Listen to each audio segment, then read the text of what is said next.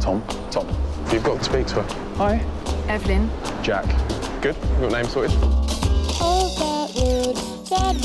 So you're taking a gap year? Yes, I'm sort of hoping it turns into more of a gap life, really.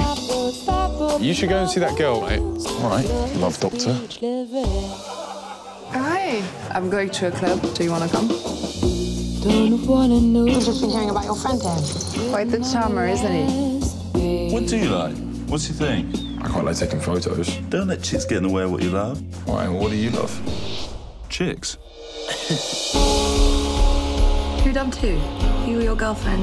It, it wasn't really like that. She dumped you. Who? Don't go near that. It's too much stress. She's with Milo, isn't she? It's hard to work out. Wouldn't even try. You like playing this little game, don't you? Are we playing a game?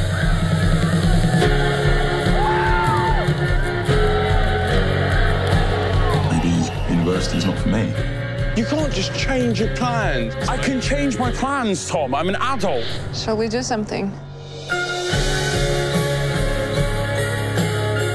There is something about you.